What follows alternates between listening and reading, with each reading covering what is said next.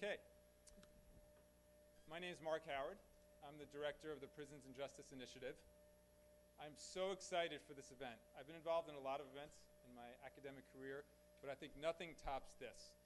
This has really been a long time in the making, not just the weeks and months of logistical planning and coordinating schedules and making arrangements, but actually, believe it or not, years, even decades in the making. Marty Tankleff, who's going to be one of our speakers, and I have known each other since we were three years old.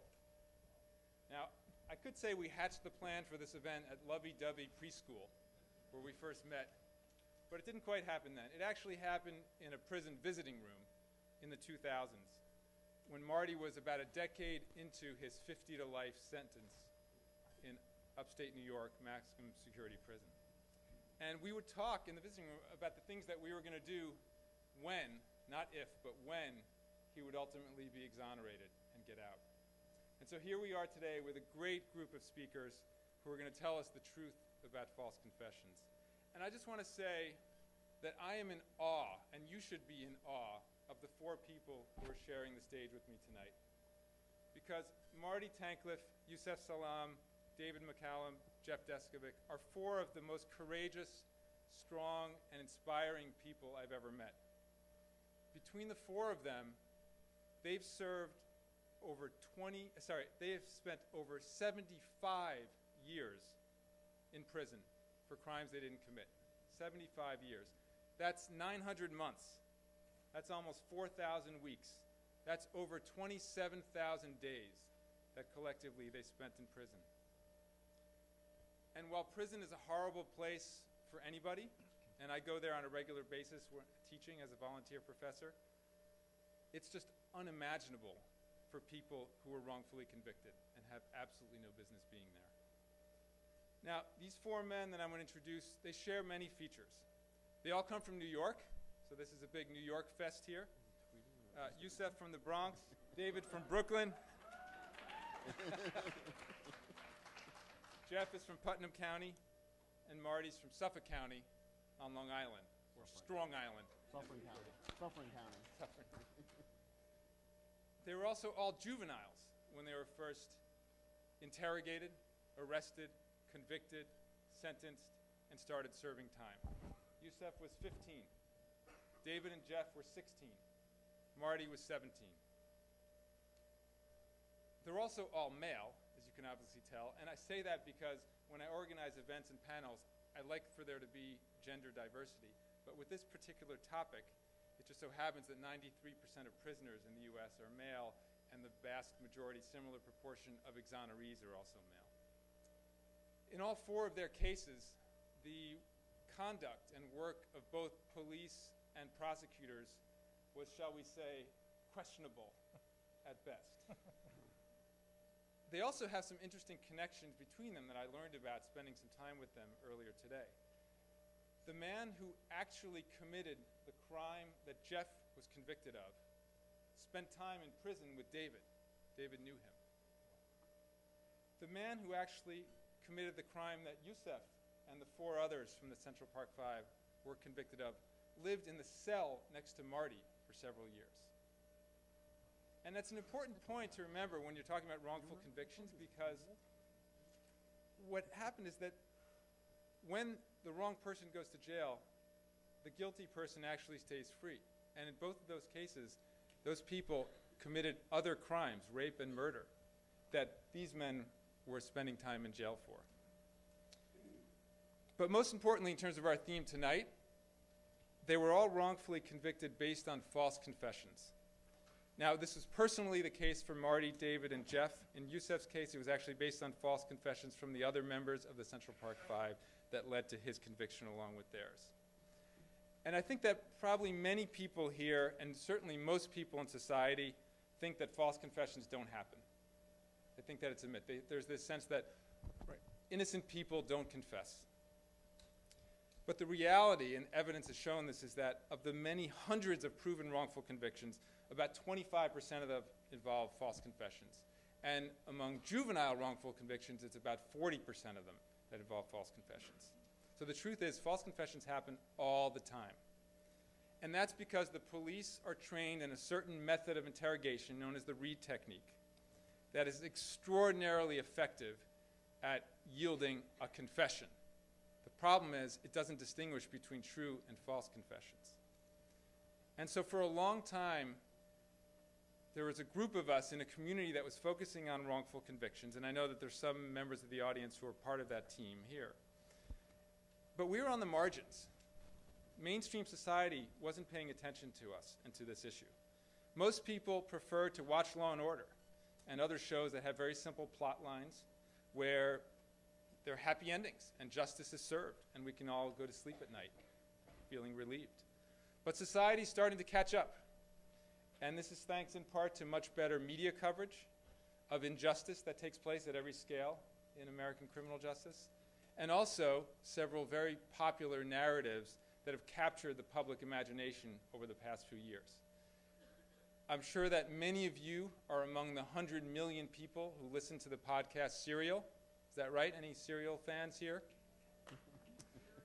I believe actually that Saad Chaudry is here tonight, or had at least RSVP'd for the event, who was Adnan's closest childhood friend, who was actually the one whose sister led to the show Serial being created.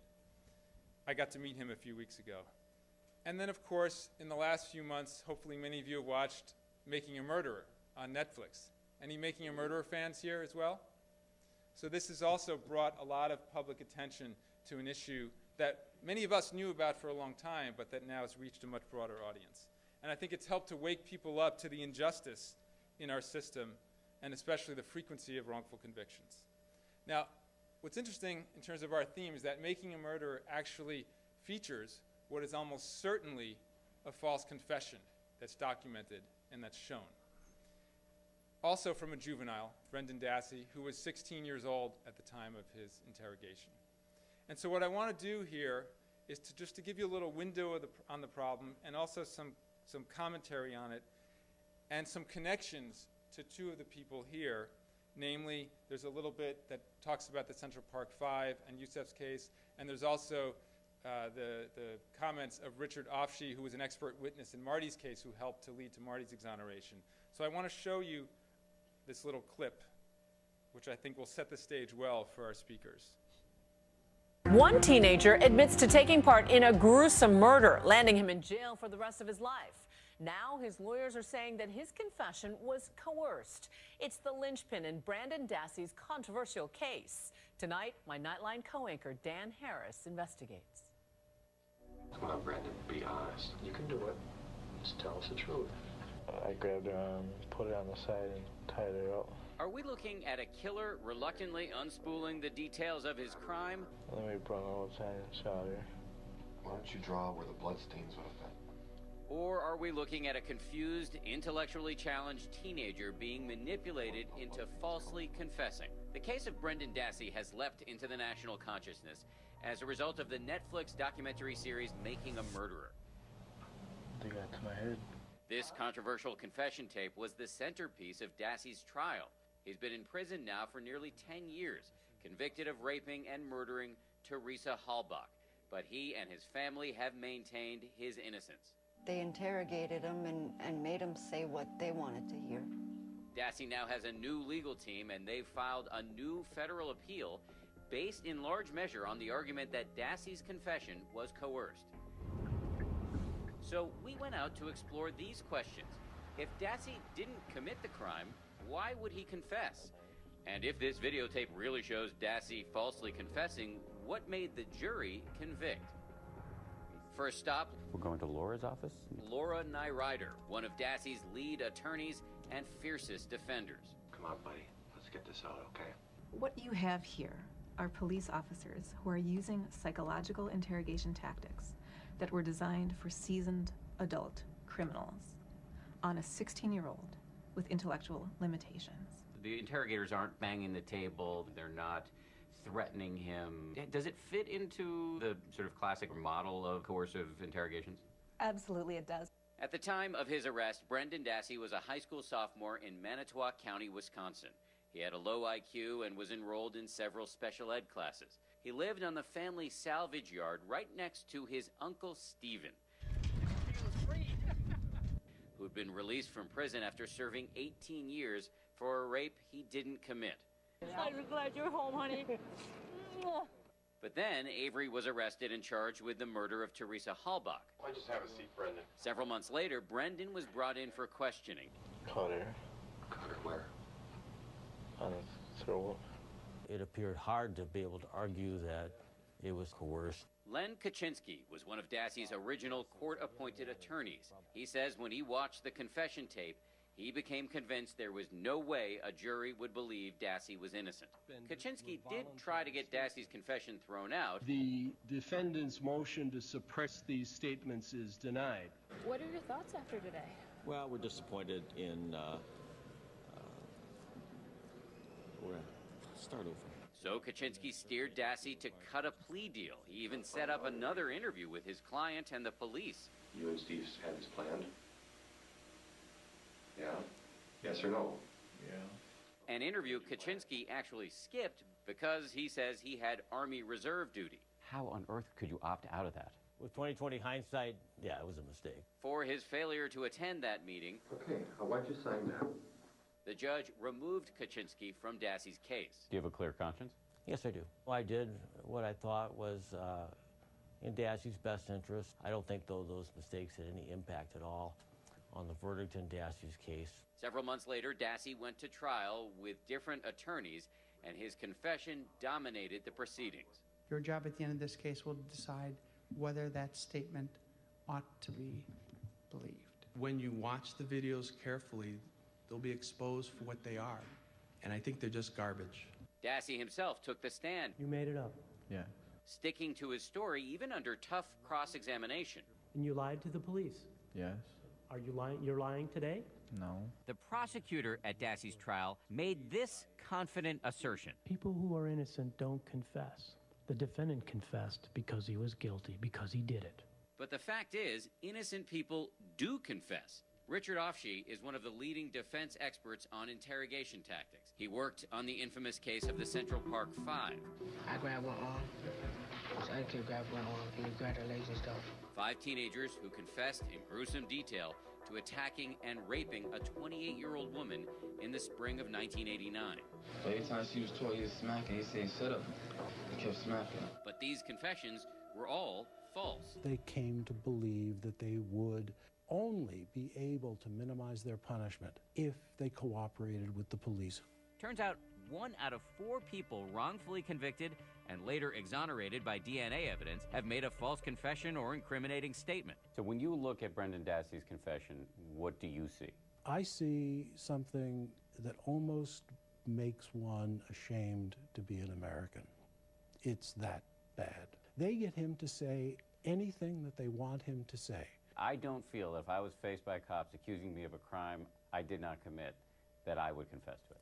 What would you do? I would say, get me a lawyer. And that's the difference. Those are the people I never see. The ones I see tend to think, I got to get myself out of this. And probably your income is a bit higher than the average person. If she can get her client a new trial, Laura Nirider hopes to demonstrate how she says the interrogators railroaded Dassey. We just need to hear the whole story from you. They reduce him over time to a place where he doesn't think that he can convince these officers of his innocence. And when he's at that position of hopelessness, then the officers offer him a way out. Your mom said you'd be honest with us. And she's behind you 100% no matter what happens here. That's what she said. Because she thinks you know more, too. We're in your corner. And what you see is Brendan begin to believe the officers and think, okay, I have to say these things that they want me to say. Even when Dassey breaks down and confesses, Nirider says, by her analysis, he offers up no information that was not already widely reported in the media. The 25 year old photographer disappeared last Halloween. Was last seen taking pictures at the Avery salvage yard. Or directly fed to him by investigators. All right, I'm just going to come out and ask you. Who shot her in the head? He did. Why didn't you tell us that? So I couldn't think of it. Any fair reading of that sequence is that Brendan is guessing in an attempt to placate his interrogators. We reached out to the detectives in this video for comment, but our efforts were not successful. Even now that I understand that false confessions are a real problem in our justice system, when it comes to the case of Brendan Dassey, there are still so many open questions. If he didn't do it, is, is it just a total coincidence that he was at a bonfire that night with his uncle?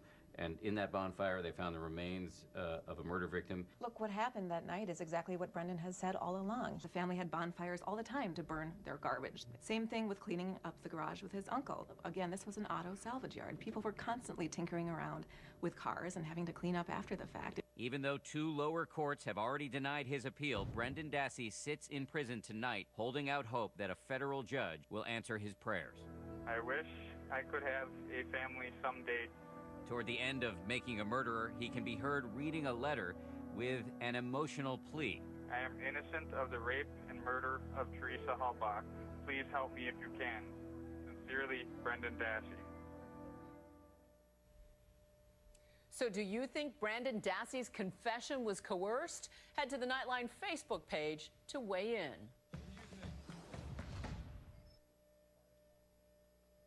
So, with that as background, I'm not going to take a serious poll here. I think it's pretty self explanatory. But let's turn now to our featured speakers for tonight. And I'm going to introduce each one in turn just before they speak. And we're going to start with Marty Tankleff. Many of you know the story. Marty was 17 on the first day of his, which is to say our senior year of high school. His parents were brutally murdered. He was convicted of the crime. He served 17 and a half years. The entirety of the case against him was based on an unrecorded, essentially hypothetical false confession. One that Richard Ofshe, whom you saw in that video, actually testified saying it's not only not evidence of his guilt, it's actually evidence of his innocence, the confession itself, the text of the confession. After 17 and a half years, 6,336 days, 38 days, they don't like to have you lock many off there. He earned those last two. Marty was exonerated December 2007. He was in college classes just a few weeks later. He earned his BA. He went on to earn his JD.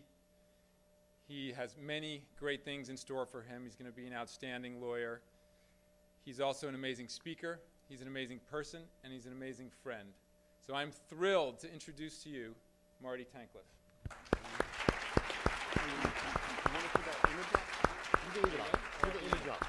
that up, man.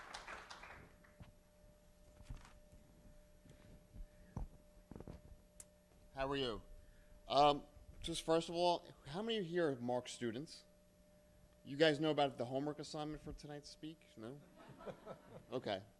Um, so, I'm here because I'm passionate about false confessions.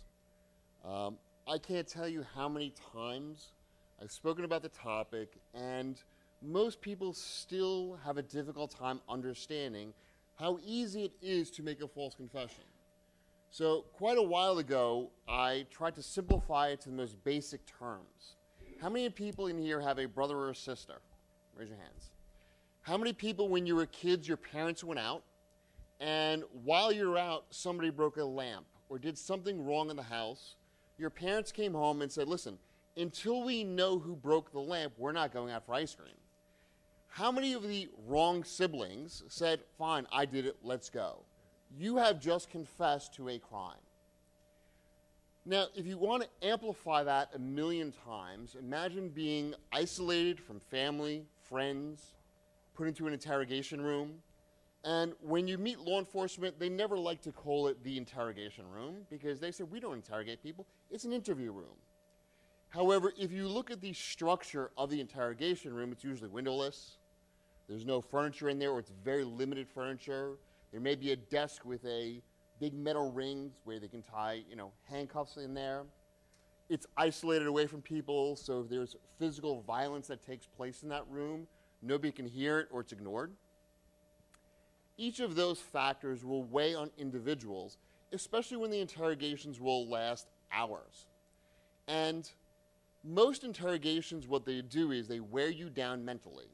And they end up convincing you that the only way out of this room is tell us what we want to hear.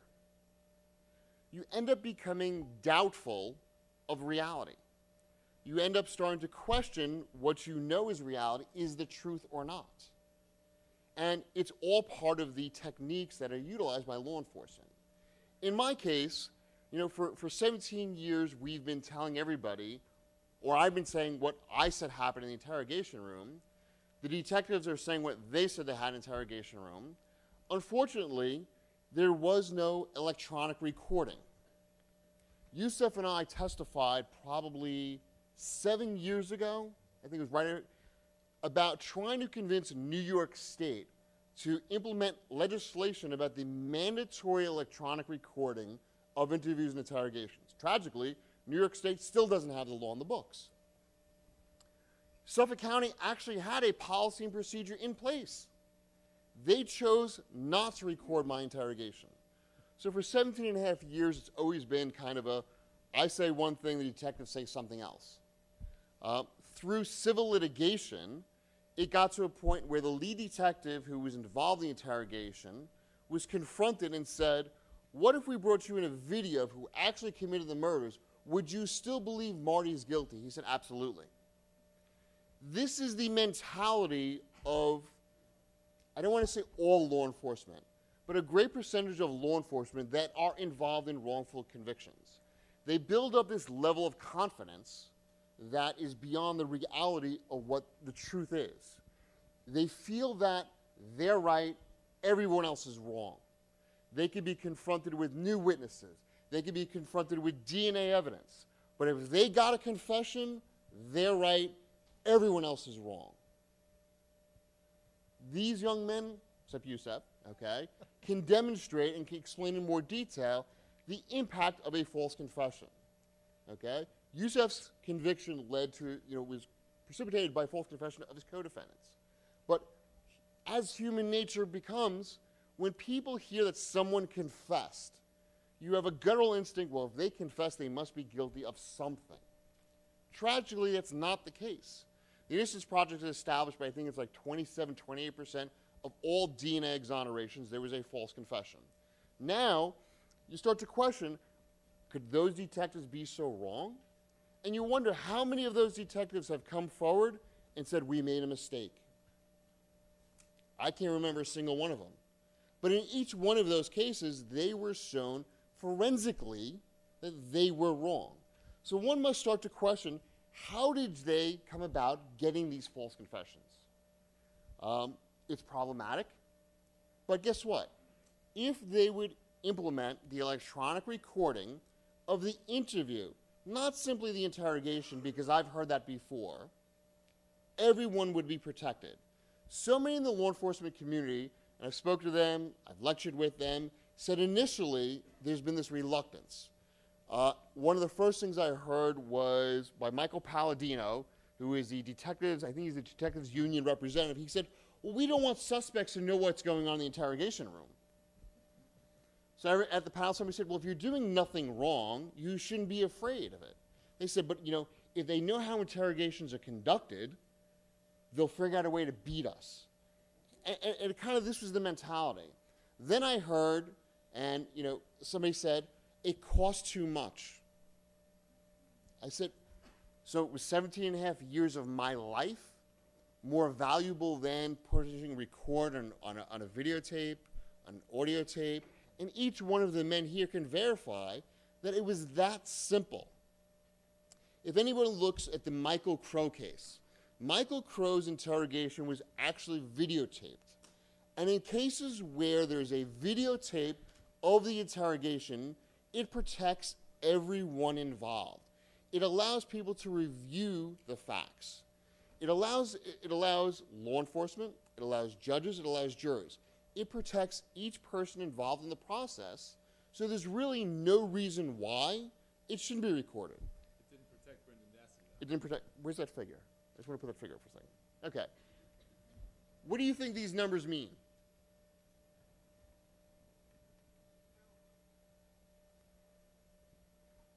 Twenty fifteen, 149. What do you think 149 represents? Exactly. That number, and the 19 is 19 so far this year. If you figure out 149 in one year, it's about one every three days. An innocent man or woman was released from prison. And if you think it's 149 people who were in prison for crimes that someone else committed, and in how many of those cases you really start to wonder were those men or women in prison while the guilty parties were remaining free to commit additional crimes. Now, 19 is just for this year so far, but I just want to highlight that 19 also represents something else. In New York, in Brooklyn, Kings County uh, DA Thompson, since he's taken office, has exonerated 19 men just from Brooklyn.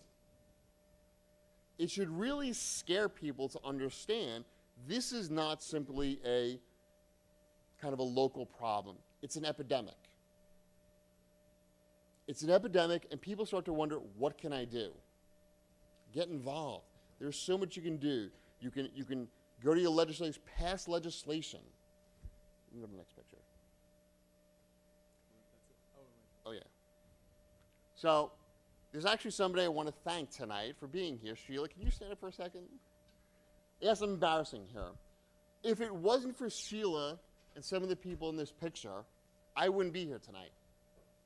Because that is part of the team of lawyers that got me out of prison. And each one of the men up here can tell you that when an innocent person is in prison, it's virtually impossible to obtain an exoneration with one or two lawyers. Sheila was part of a team of probably 15 lawyers from three or four of the most biggest law firms from Washington, D.C. and New York. It takes an army. And Sheila could tell you that it was thousands of hours working on these cases. And, you know, quite often you see us up here, but I always have to acknowledge it was the people like Sheila, Dawn, Steve Braga, J. Salpeter, Barry Pollack, uh, many of them are from D.C. area, who devoted years of their lives.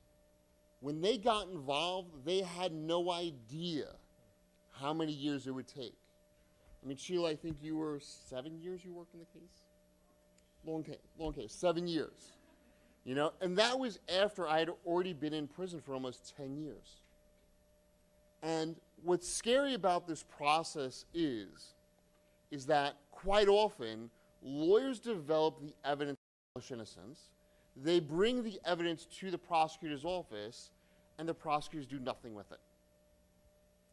They don't want to investigate. They'll let you languish in prison for years. And in some cases, they've had the information for years before that, but everybody said, you know what, we're okay with this guy sitting in jail, because guess what, we can live with ourselves.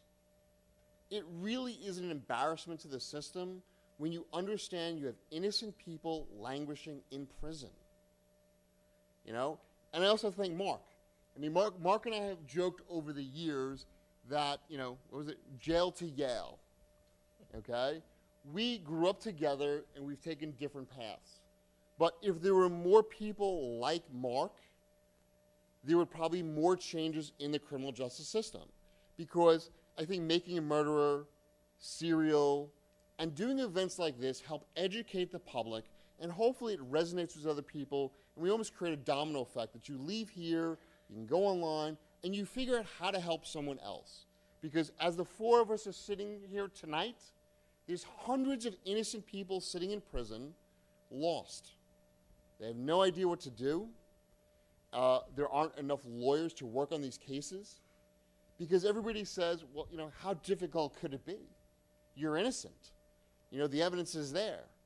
I can't tell you how often, and maybe Jeff or David or Yusef can verify this, that where there's DNA evidence, the prosecutors still fight. And sometimes it's for years. It just doesn't make sense. So I want to thank you, and I think at the end we'll do some Q&A.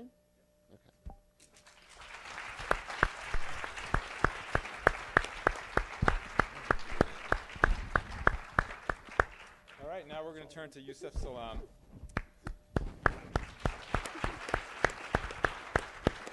Yusef was wrongfully convicted in probably the most notorious case in New York history. And it's one that actually has a lasting imprint on contemporary American politics, even this presidential race, because both of the leading presidential candidates from both parties had made statements that connect to Yusef in his case. Hillary Clinton, and this has come out recently, talked about this concept of super predators, which was this notion that came from the Central Park jogger case. And Donald Trump, at the time, took out a full page ad saying, Bring back the death penalty to New York to execute these young boys who turned out to be all innocent. So, for those of you who aren't familiar with the case of the Central Park Five, I have a two minute clip from the documentary, the award winning documentary by Ken Burns called I want us to remember what happened that day and be horrified by ourselves. New York in the late 1980s was a completely schizophrenic, divided city. New York's now the capital of racial violence. If I had more bullets, I would have shot them all again and again. Criminality, gang wars, drug wars. We were supposed to be afraid. It would have been irrational not to be afraid. Off with the camera, man! Last night, a woman jogger was found unconscious and partially clothed in Central Park. She was beaten and sexually assaulted. A woman jogging in Central Park. Central Park was holy. It was the crime of the century.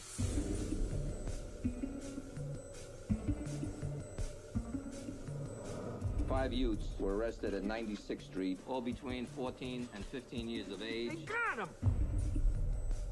You can only imagine the pressure to have this crime solved and solved quickly. First we was all together, then they started to put us in different rooms separately.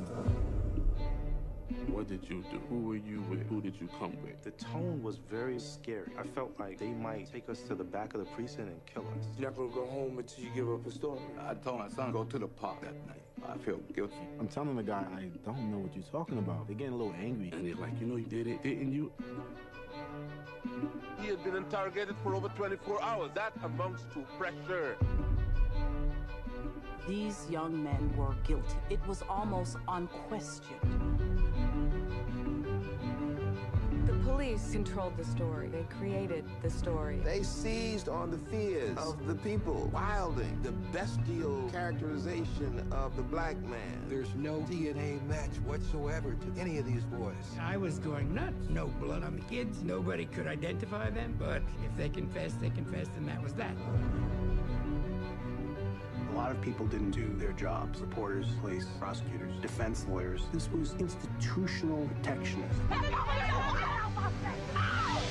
We falsely convicted them, and we walked away from our crime. This is the ultimate siren that says none of us is safe.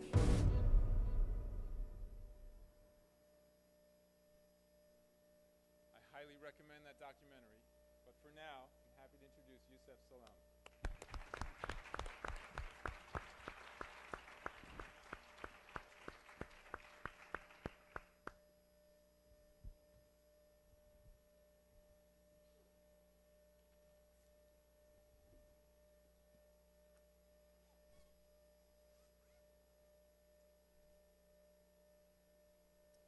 I want to start first by um, thanking you all for being for, for inviting me here. And secondly, I want to start off by reading something to you. The Central Park jogger was raped and left for dead April 19th, 1989. Within the first few weeks, there was a tsunami of media reports over 400, picking apart our lives and painting a picture so that they can prepare the public for exactly what they were about to do to us. And this is the case in many times that happens. This letter that I'm going to read is important because this letter was dated six days after the Central Park jogger was assaulted. Our names, our phone numbers, our addresses were published in New York City's newspapers. And this letter states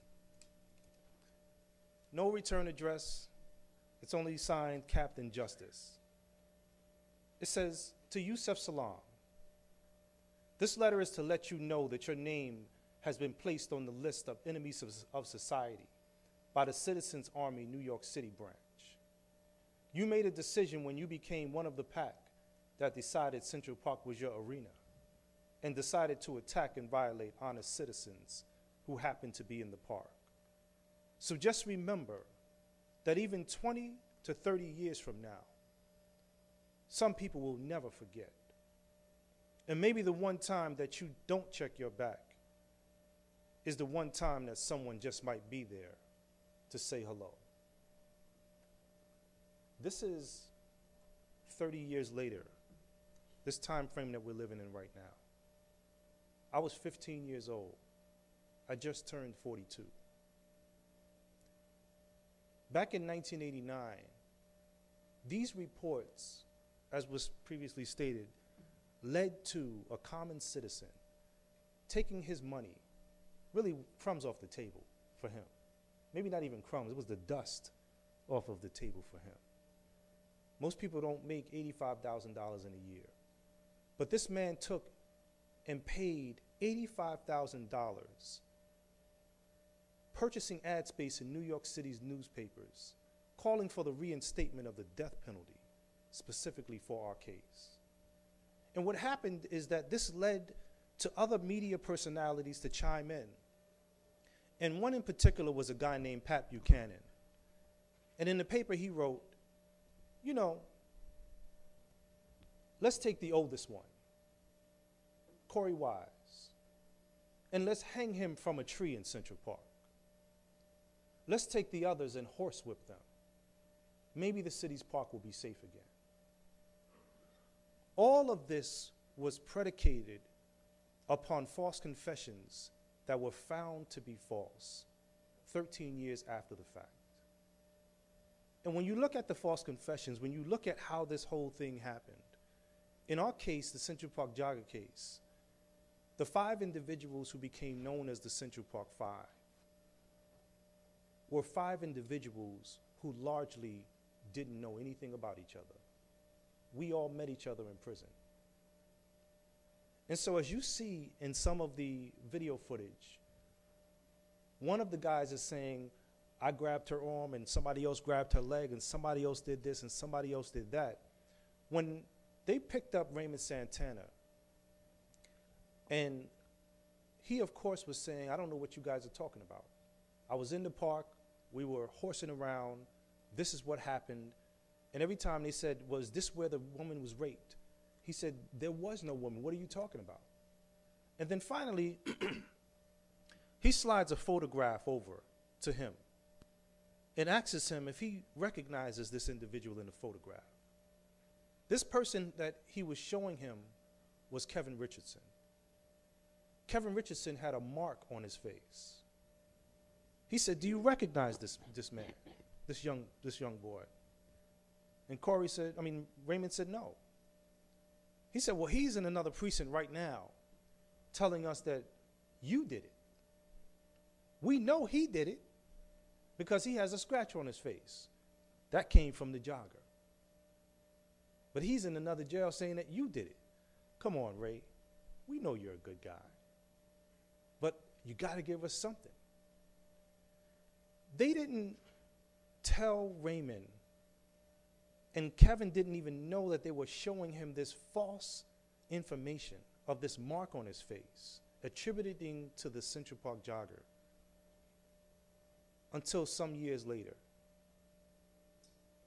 Kevin Richardson, when he was being chased by the cops, they said, Stop or I'll shoot. And Kevin's adrenaline went through the roof, and he ran for his life.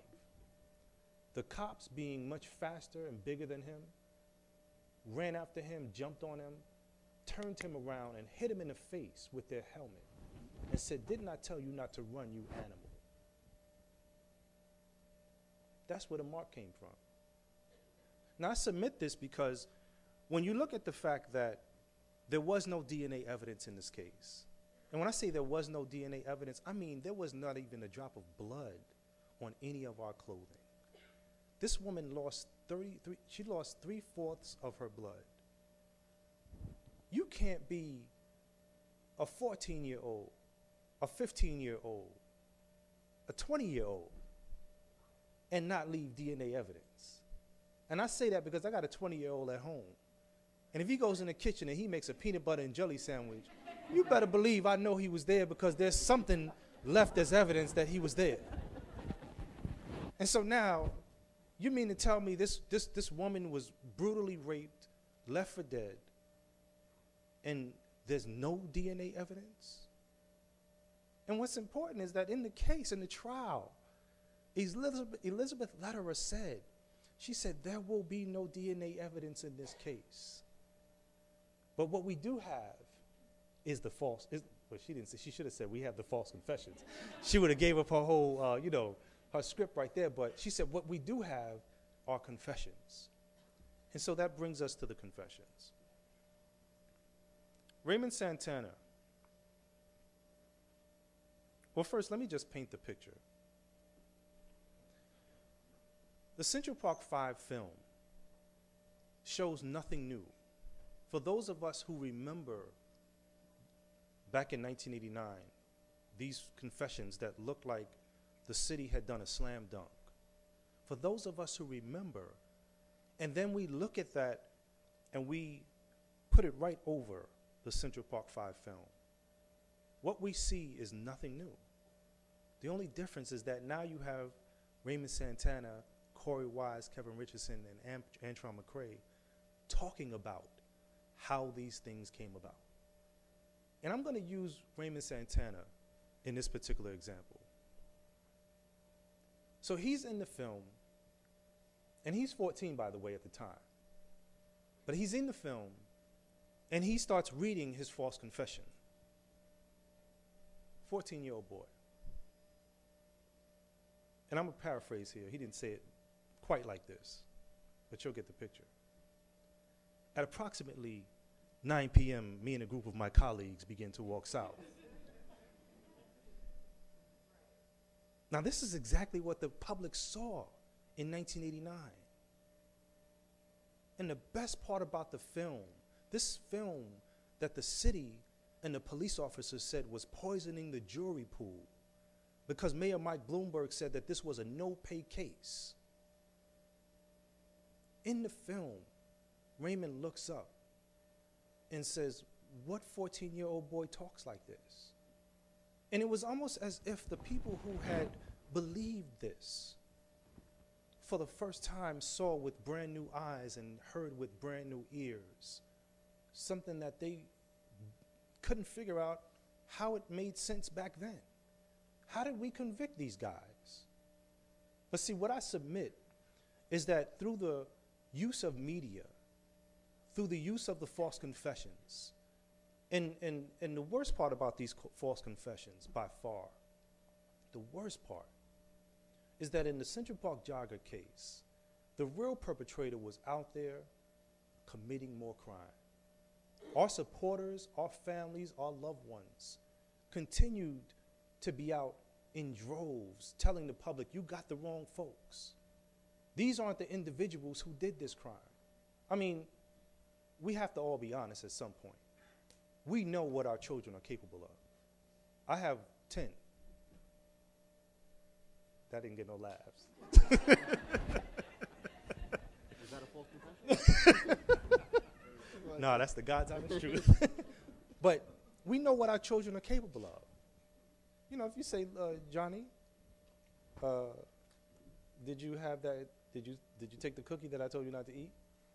And Johnny got crumbs on the side of his mouth. You, no, I didn't. I, I didn't uh, eat it. We know what our children are capable of. And and here we were languishing in prison, trying to see if the system worked, hoping that it was the criminal justice system. But after we lost trial, after there was this legal lynching of sorts, we began to realize that it was the criminal system of injustice. We began to realize that these same officers who on the side of cop cars in New York City, they have these three ideals. And these three ideals are these words courtesy, professionalism, and respect. And I mean, I want officers to live up to those ideals, and I know that some of them are.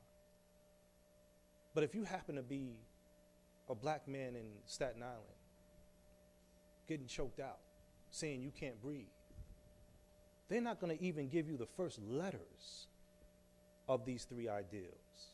They won't even give you CPR. That's how serious this thing is. Matias Reyes, the East Side rapist, for his final act, he goes and knocks on the door of a young pregnant Latina woman.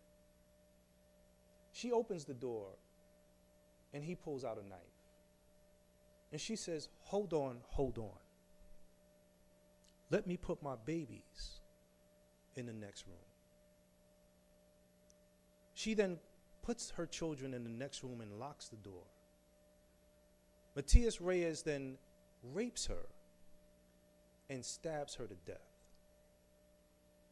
She was a young, pregnant Latina woman. Our supporters had been out there for months saying that you have the wrong people. The police officers were convinced that they had the right people and they didn't want to look for anyone else. The police officers didn't even catch Matias Reyes for this crime. The sad part about this story, the sad part about this story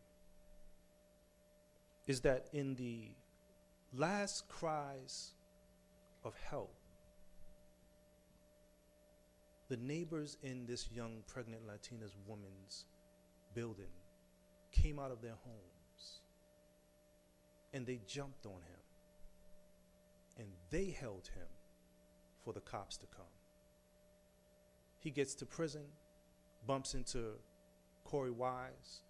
They have a brief altercation. He knew who Korey Wise was, but that's not why they had an altercation. And then 13 years later, he bumps into Korey again. And he had forgotten about this crime that he said that he got away with scot free. It didn't matter that he was in jail for 33 and a third years to life.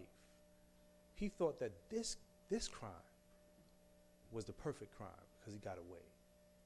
And now he sees Korey 13 years later, and he sees the pain and the hurt that this young man had been going through day in, day out for years. And he says, at that point, he had found God. And so he wanted to talk about this. He needed to tell somebody about this.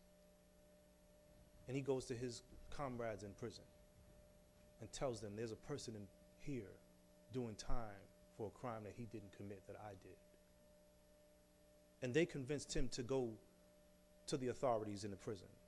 And the prison authorities convinced him to go to the DA's office. And this is how this case got solved. This is how the truth came out. This truth would have never come out had that miraculous encounter not happen between Raymond, I mean, between Korey and Matias Reyes 13 years later. And it's so, it's so, it feels so good to be able to be exonerated from that process. But 13 years later, that tsunami of media reports that happened in 1989 and in 1990 was nothing compared to the desert of media reports that happened when we were found to be innocent. This is one of the ads that ran. This is one of the jurors. He said, We got the wrong kids. We had been in jail for a crime that we didn't commit, a crime that is only trumped by child molestation, a crime that the inmates have their own way of dealing with this kind of atrocity. It's a wonder that we survived. I'll wait till later to uh, talk about it some more. Thank you.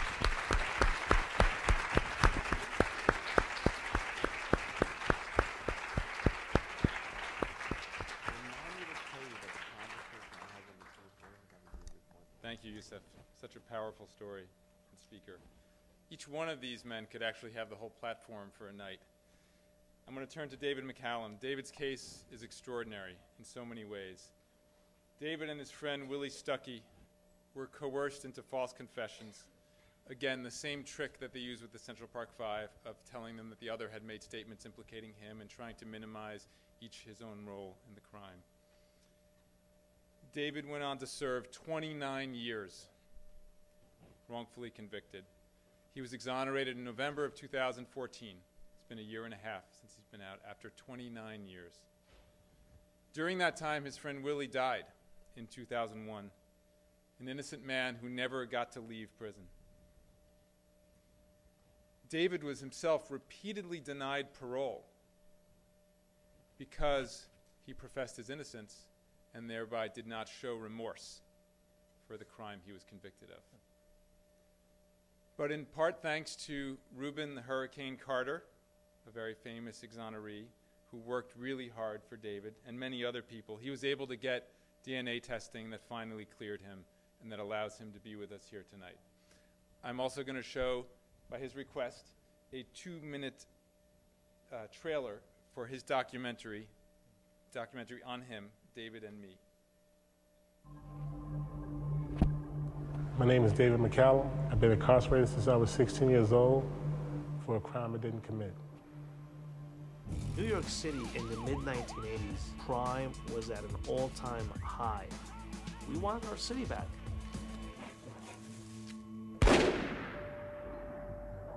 He was saying that they had found uh, a body in the park, and I said, Officer, I don't know what you're talking about. And it was at that moment that he slapped me in my face.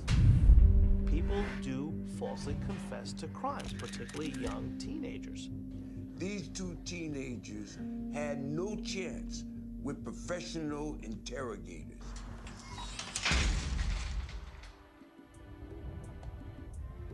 Dear Ray, I was around your age when I came to prison. David's given him a sense of the value of his own life. I'm willing to go to the ends of the earth for David. And if it means trying to find the killers 28 years later, then that's what we're gonna do. Did you know any of the kids that worked here? If I said some names, you wouldn't know anyone? Every single part of this whole thing is infuriating. You don't know where he lives? He's just. Give that information. Sorry. That's a dead end. There's always life and death struggles behind those walls. Any show of disrespect can mean your life. I don't know. I don't know what's gonna happen. I'm bored in this place, you know? I'm not gonna let nobody take that from me.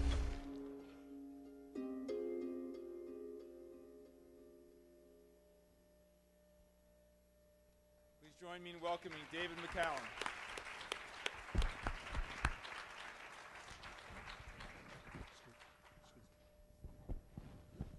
Good evening, everybody. As you can see, um, I'm a wreck. This is what usually happens when I um, is is offered to come to these sort of events. I get really, really emotional because, for so many different reasons, obviously, this is a very emotional topic for me. Um, you know, I just want to thank Marty for initially uh, bringing this to my attention, and of course, I would be remiss if I didn't thank Marc, and of course, if I didn't thank you guys for, for showing up tonight and invite me as well. So I appreciate that. Thank you very much. Um, uh, I gave talks before uh, about false confessions in general, and particularly in wrongful convictions, but I usually don't talk about my childhood friend Willie Stuckey. And I just want to take a little while, a little moment or two to sort of just talk about him.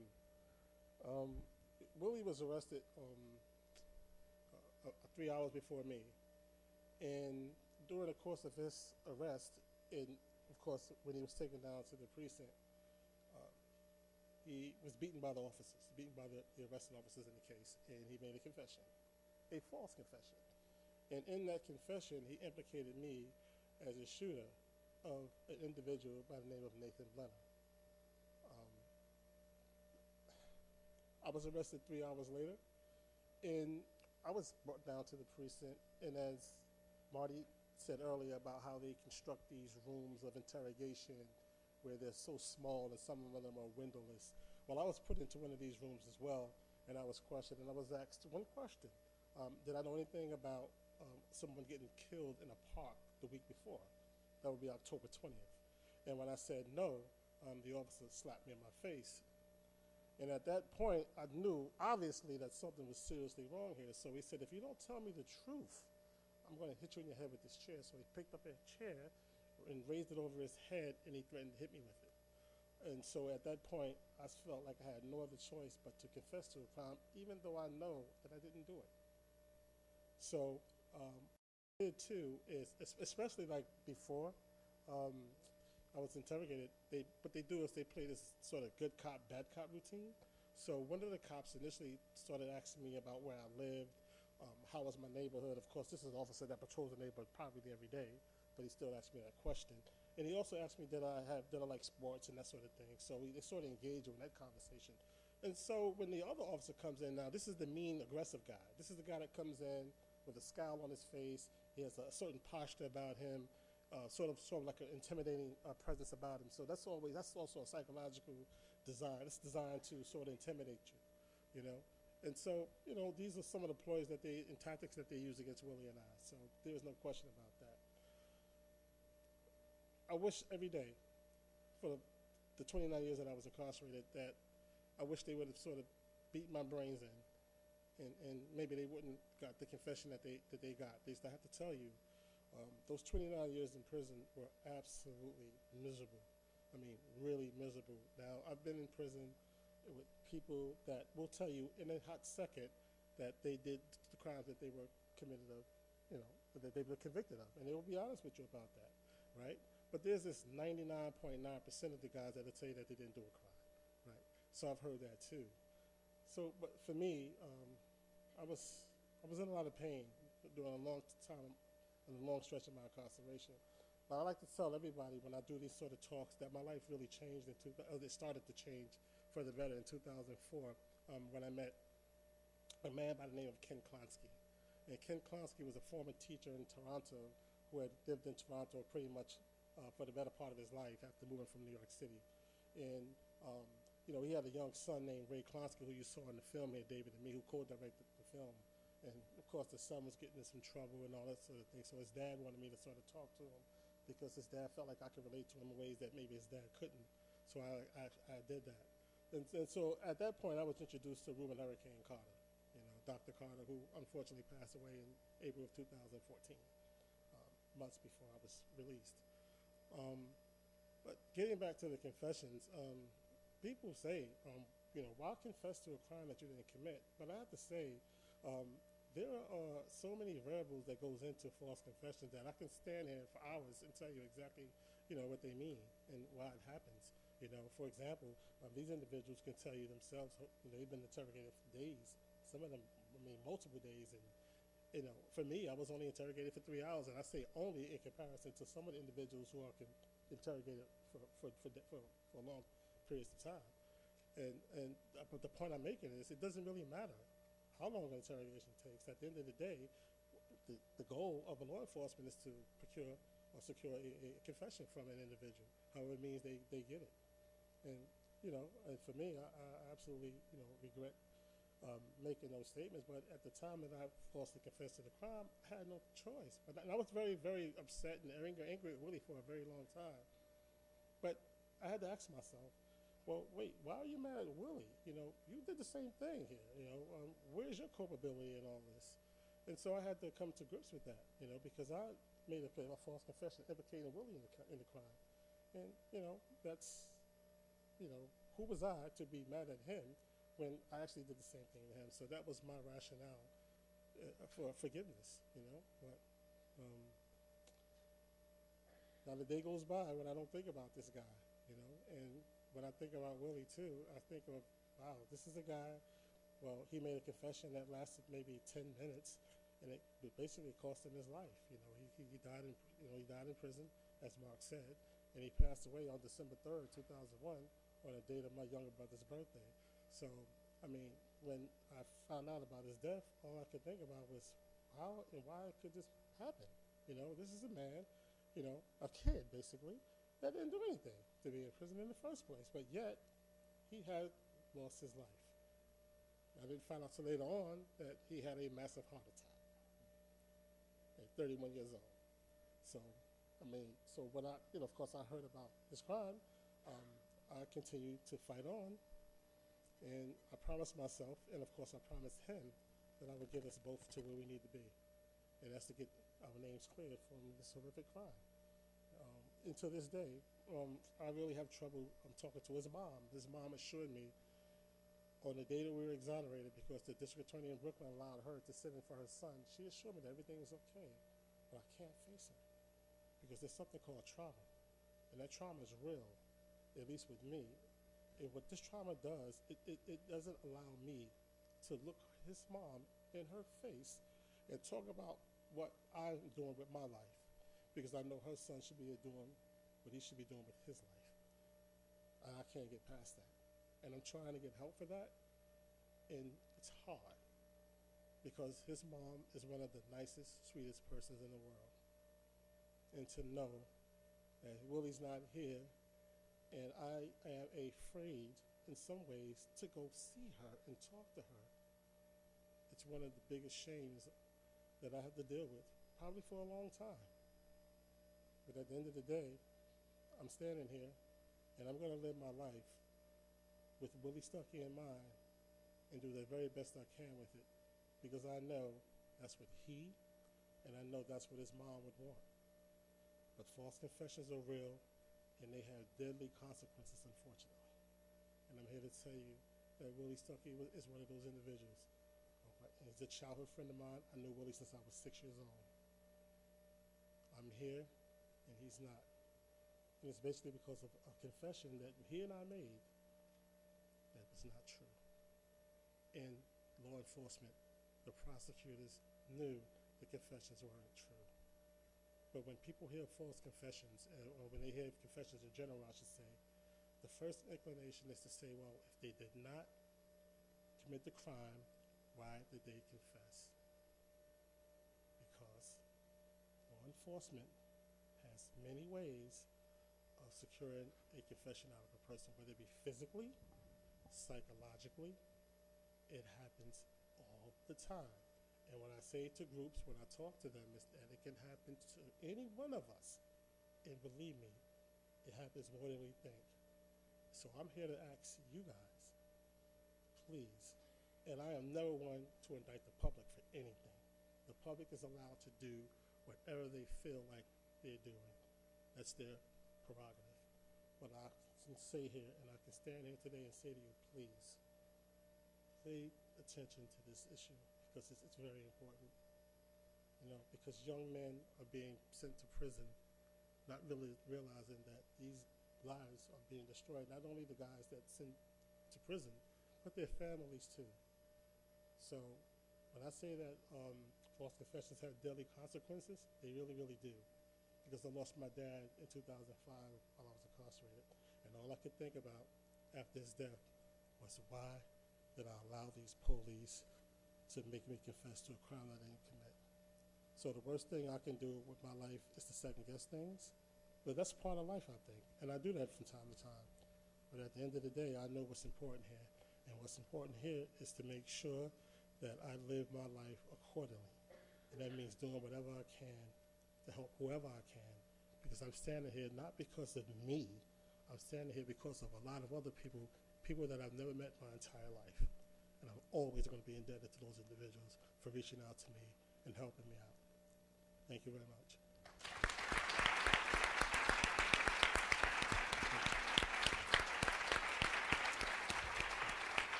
Thank you so much, David. That was very powerful and moving. We're going to now turn to our fourth speaker, Jeffrey Deskovic. I met Jeff actually 10 years ago. It's hard to believe it's already been 10 years. And it was at Marty's. Marty wasn't there because he was still incarcerated, but at the oral arguments that were part of the 19th and ultimately successful appeal that led to Marty's freedom. And Jeff had gotten out not that long beforehand and went as a show of support. And it really is something that he has done tirelessly for the last 10 years. Now, I want to mention one thing about Jeff's case in particular, because what it highlights is how powerful the word confession is in a court of law. Because when Jeff was convicted in 1990, they had early DNA testing. And they tested the DNA, and it was a horrific rape murder case of a girl in his high school. And they tested the DNA, and it was not Jeff. And that went to trial. But the jurors believed the confession over the DNA. And it took 16 and a half years of him tirelessly working to have that DNA retested and have it be put into the now existing database that could provide a match to who the real perpetrator was. And they denied every request of his over and over and over. And finally, when he was able to get it tested, it turned out to be a match to someone else who had actually murdered another person during the time when Jeff was incarcerated for that first conviction. So it's extraordinary what it shows about the, the power of a confession uh, in the court of law. Jeff, I've really enjoyed getting to know him over the past 10 years. When I saw him, he'd just gotten out and he was struggling. I think there's no doubt about that. Um, it was a hard adjustment um, for him. But since then, it's been an incredible pleasure and joy to see him grow and thrive. Um, he went on to get his BA from Mercy College, his MA from John Jay College of Criminal Justice. He's become a national spokesperson on criminal justice reform, on wrongful convictions, on false confessions. He's given over 100 presentations around the country. He's authored over 200 articles that have come out in all sorts of different publications, including CNN, Al Jazeera, New York Times, Wall Street Journal.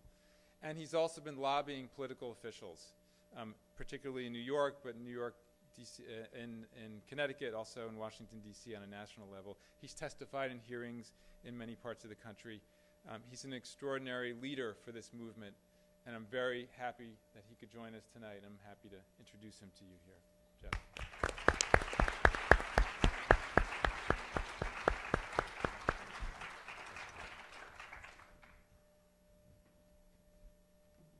Good evening. I need more energy than that. Good evening. All right, it's great to be free. Um, so I'm going to start off. Um, I'm going to dis- um, discuss my own uh, false confession, which I think is instructive, and then I'll move on to what the red flags are that indicate that a confession may be false. I'll turn to the discussion about what reforms could be done in order to prevent wrongful convictions caused by coerced false confessions, and I'll close by giving some practical advice because I think that we should all have a, a takeaway, something that we can um, activate and, and utilize um, from this. So I went to the uh, uh, police station uh, on a uh, school day.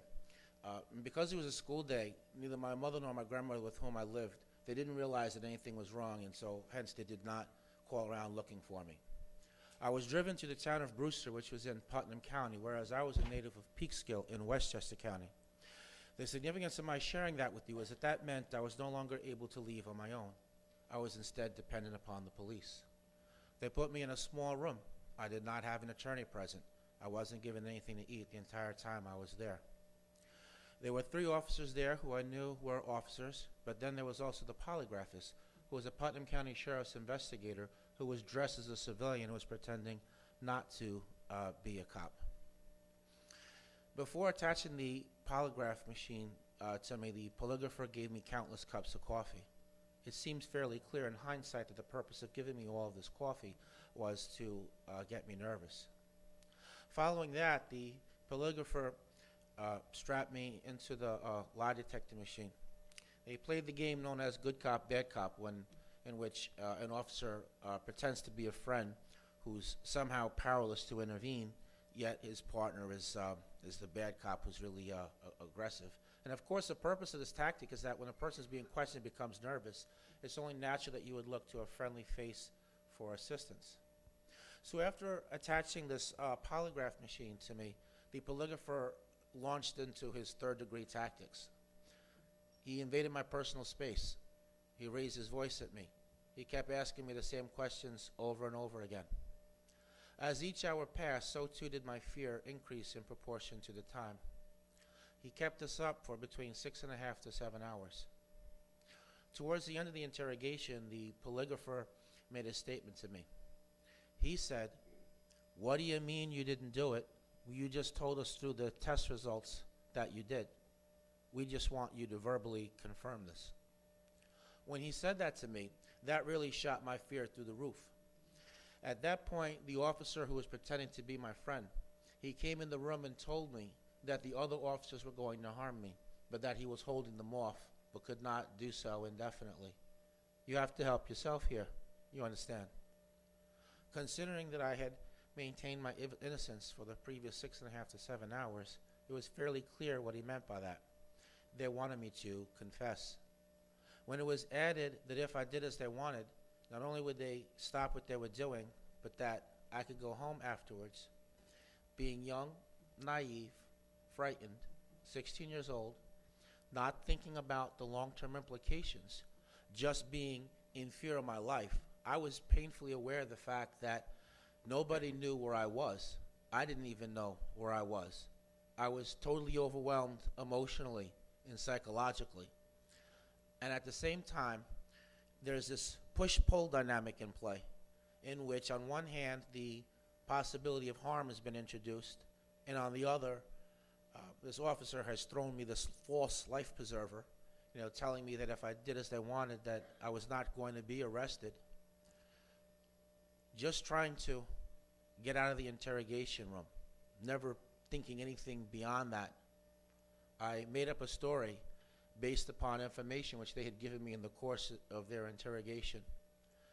By the police officer's own testimony, by the end of the interrogation, I was on the floor in a fetal position, crying uncontrollably.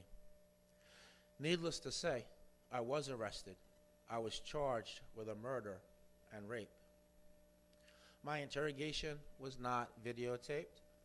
It was not audio taped. There was no signed confession. It was just the police officer's word as to what happened.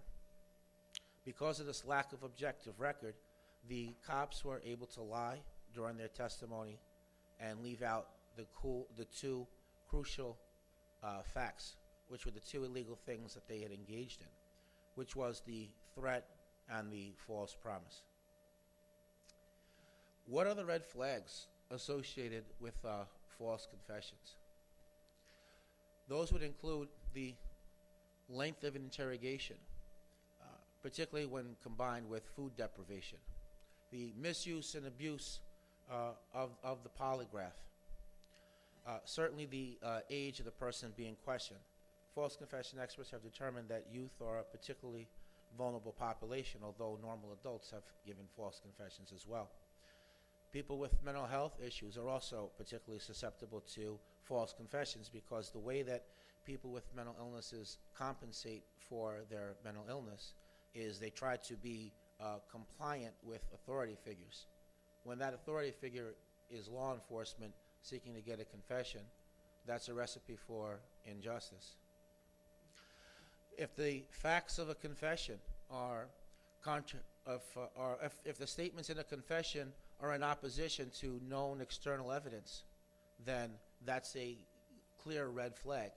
So in my case, for example, uh, I made a statement and I said that I hit the victim over the head with a Gatorade bottle. But a Gatorade bottle would be incapable of inflicting the type of injuries that the medical examiner said the victim suffered. There was no shattered glass at the scene, nor were there any shards of glass found in the victim's body. Of the level of uh, if the level of language that is used uh, exceeds the formal education and life experience of the suspect, then that's another uh, that's an, that's another red flag.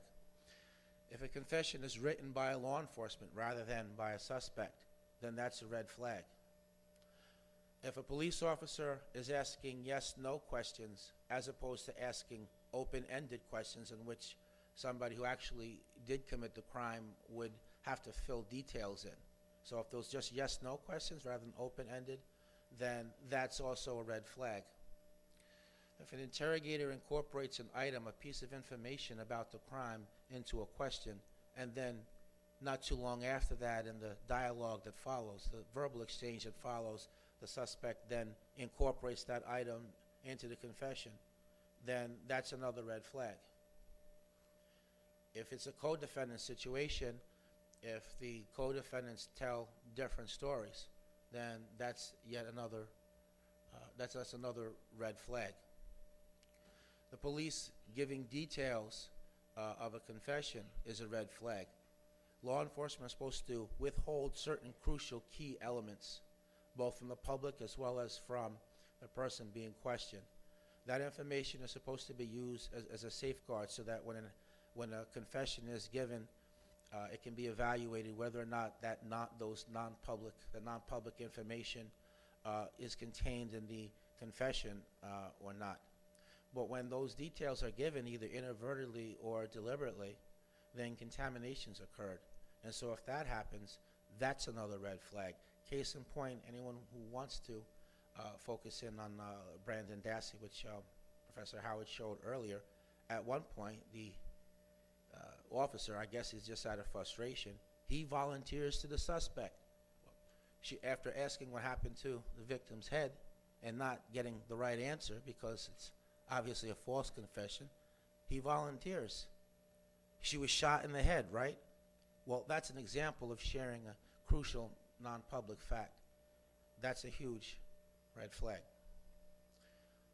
So having known about what these red flags are, is there no way to utilize that knowledge that we've arrived at only through the you know, painful uh, lessons of wrongful convictions caused by coerced false confessions? What are the reforms that we can uh, util uh, utilize to prevent wrongful convictions from occurring based on coerced false confessions? Well, the first thing is that instead of just simply having a pretrial hearing at which the sole issue is voluntariness of the statements, which is what we have now, we should, in a, we should additionally uh, have a hearing uh, before a confession could be used as evidence in which the, the judge is looking at the accuracy, the truthfulness of a confession, using those red flags. Each one of those is not something made up. It's not something that I think. These are lessons which are extracted uh, from cases that ultimately terminated in a exoneration through DNA, but only after you know significant time was spent. So if a judge was to evaluate these factors and you know uh, before a confession could be used, I think that we could reduce the number of wrongful convictions caused by coerced false confessions. Uh, having, allowing false confession expert testimony in the courtroom is key. The experts do not give an opinion on whether a particular confession is coerced uh, and, and, false. That's something that's the province of the, of the jury or uh, the judge if it's a bench trial. Instead, the experts give crucial contextual information as to what the factors are that would lead an innocent person to confess. That's very important because that's not common knowledge, that's specialized knowledge that's arrived at after study, and so therefore ordinary citizens can't be expected to know that. But the jury is, is made up of ordinary citizens, so the expert could provide that contextual information. The jury could decide, you know, based on those factors, whether that particular confession is, uh, is false uh, or not. Maybe, maybe it's not false, but they have to have that crucial information to make that assessment. Uh, lastly, it's, it's been uh, emphasized already, but it has to be repeated, the importance of videotaping uh, the entire interrogation, um, both from the beginning and, and the, uh, from the beginning to the end, not just simply the part at which the suspect confesses, but from the moment the custodial questioning begins all the way to the end. No selectively starting and stopping the uh, videotape. What is what is there to hide? And with with the camera, with the camera fully focusing on both the uh, interviewer as well as a person uh, being being questioned.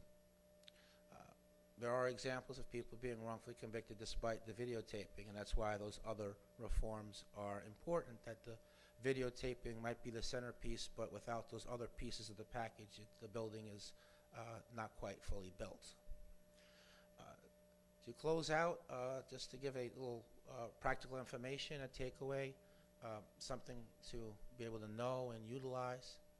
Um, I don't think that it's really known uh, by most of us uh, what to do if a police officer wants to question you. You know, false confession experts have determined that the innocence of a suspect often works against them because the thought process, someone who's innocent, is that if you're innocent of the crime and you don't know anything about it, why would you need to assert your rights? What could possibly happen if you talk to the police? But I think as you've sat here and looked up on the stage, you can see that quite a bit could actually happen if you decide to go down that wrong road. Uh, what you should do if the police want to question you is you give your pedigree information, what your name is, where you live. And the third thing that you need to say is, I want a lawyer. There's nothing that law enforcement needs to speak to you about that's so crucial, so time sensitive that it can't wait for them to give you a lawyer and then proceed. The lawyer will level the playing field. The lawyer will prevent you from being coerced and overwhelmed. They won't dare to do the tactics they engaged in on any of the people uh, on the stage tonight. That's very important. Uh, you should share that information with people who, for whatever reason, weren't uh, weren't able to uh, make it tonight. Uh, there's too many people. There's too many of us that you know, we waive our rights and we really don't understand what we're doing. We don't really understand what it means to knowingly, willingly, and intelligently waive our rights. Thanks a lot for listening. Thanks for coming out.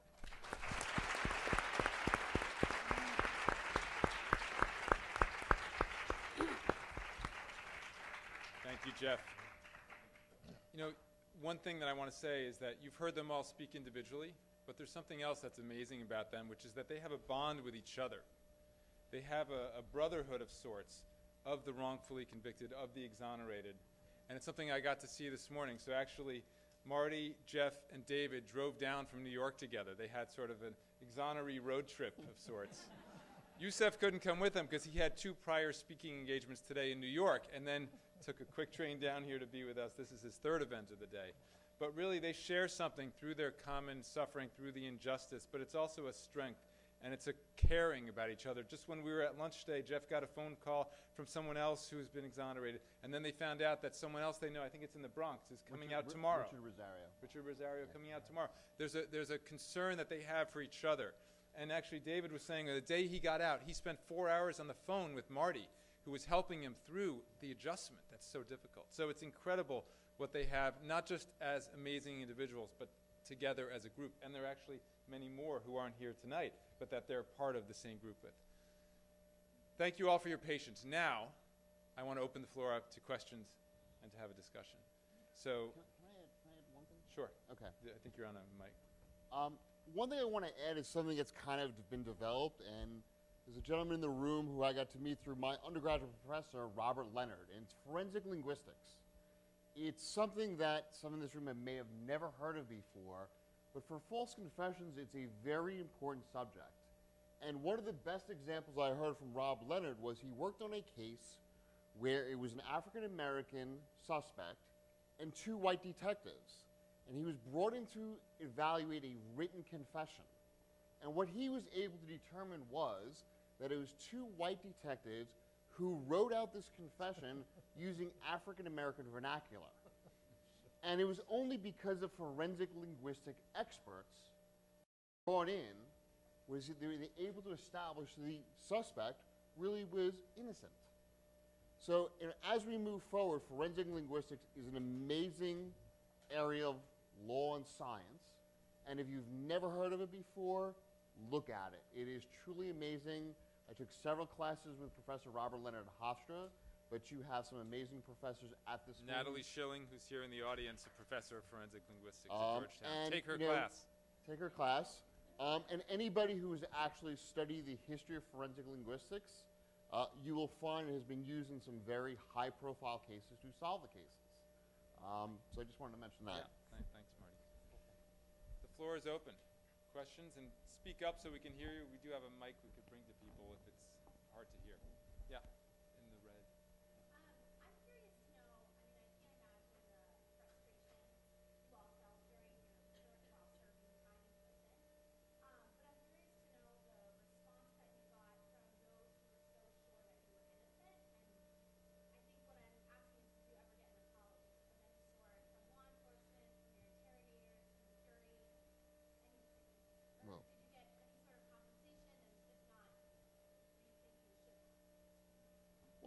I could say just very quickly. Each give a brief the the the lot to say on the day Yusef and I testified. Can you guys hear me? The day Yusef and I testified, the current Attorney General Eric Schneiderman was a state senator. He was he has been the only public official that has ever apologized to me, and he did it publicly. Um, and, and the He very wasn't responsible for the conviction. he was not responsible for the later. conviction. He was a state senator who was actually holding hearings that day on wrongful convictions. And he publicly apologized on behalf of all of New York State residents and politicians and the criminal justice system for what happened to me. He is the only one that has ever apologized to me. Yeah, my, my case is very similar. Um, the, the apologies that I've received have been from common citizens. You know, um, the, the actual people who set up the scene in order for us to go to prison, they actually were able to retire with full pensions. Many of them um, uh, went on to do other things. Linda, uh, Linda Fairstein? Linda Fairstein. was prosecutor. Linda Fairstein was able to retire from the head of the sex crime unit and become a multi-million dollar book writer. So she writes sex crimes novels now. And just before she blocked me a while back, the, the, the screen capture that I was able to get, which really is telling of her story, uh, she wrote a book that said, it said, Linda Fairstein, Lethal Legacy. That was one of the books that I was able to see before she blocked me. Now, Elizabeth, Elizabeth Lederer, she also went on to uh, build her career off of our backs. And that's really what happens in most of these cases. She started working as an adjunct professor at Columbia Law. And all of the students that she was, she was teaching, they started a petition. They didn't want her to teach them anything because they knew about the Central Park Jogger case. When the film came out, they were outraged. And what did this, the uh, institution do? They protected her. So on her bio, on the on the on the uh, Columbia Law website, her bio used to say that she had all of these accolades, and the cherry on top was that she litigated the Central Park Jogger case. And so now when you go to her bio, gone.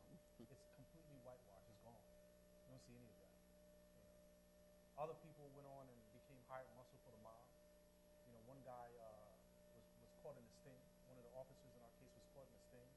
Uh, found a dead uh, drug dealer up in the in uh, Upper Harlem, and uh, him and his colleagues split the money they found in the trunk. And the, the, the rookie cop got scared and told on him. You know, but they were able to all retire with their full pensions. That's really what I'm I'm trying to get at. The Central Park Jogger case, and I want to just quickly wrap up with this piece. The Central Park Jogger case is only one of the many cases that these officers, that these prosecutors, that these judges have went after, have litigated.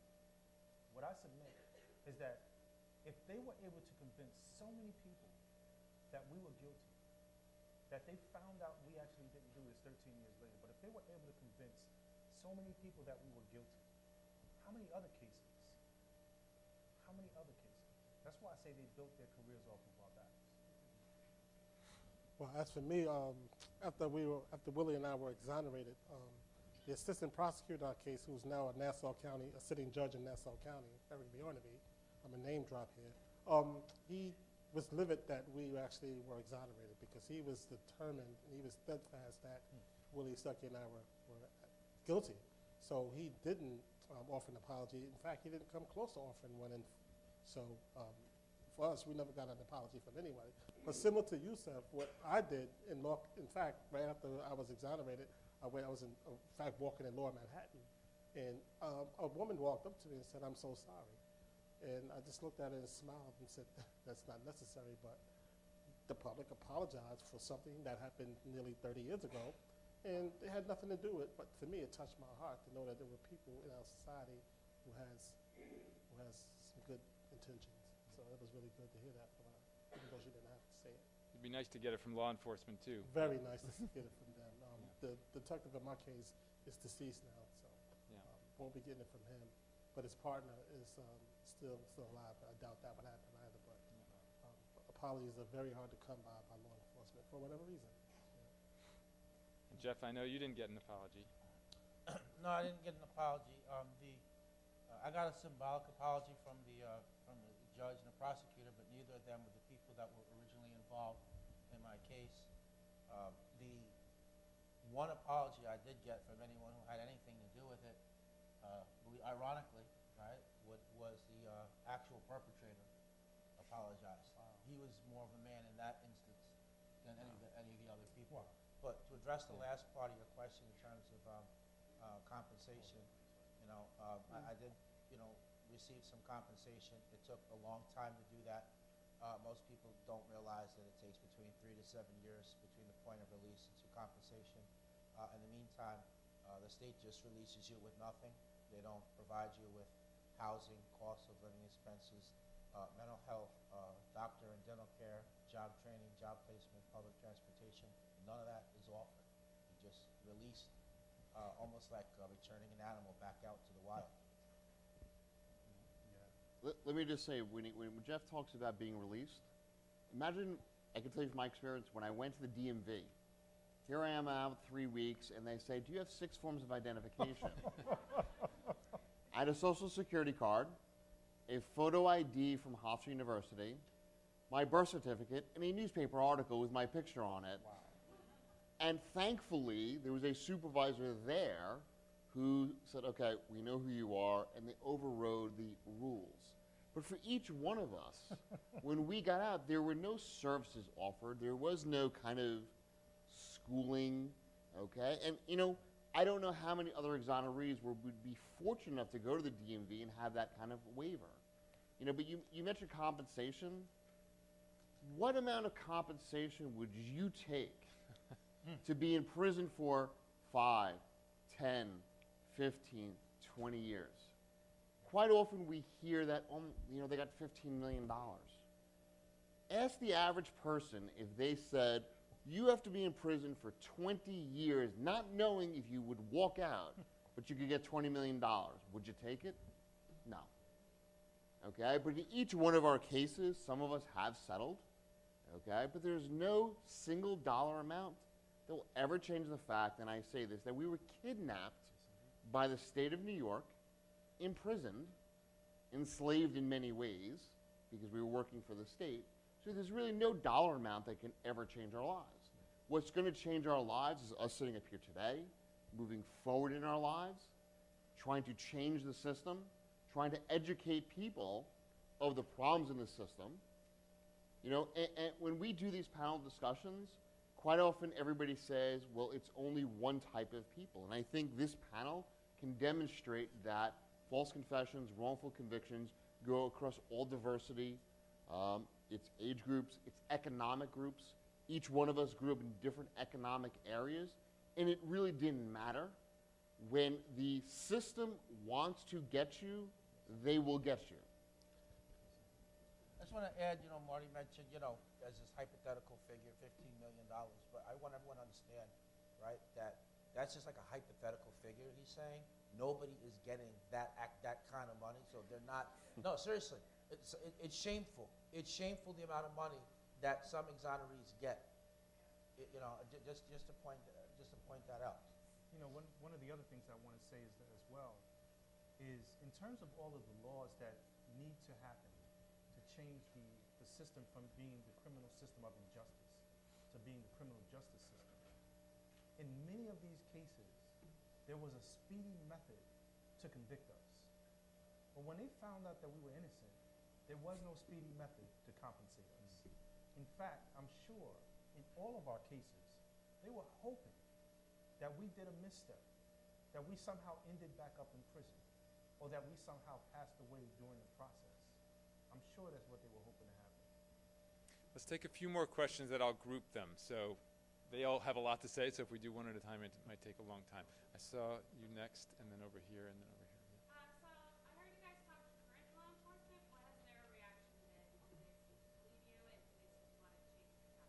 Current law enforcement, okay. Over here, yeah.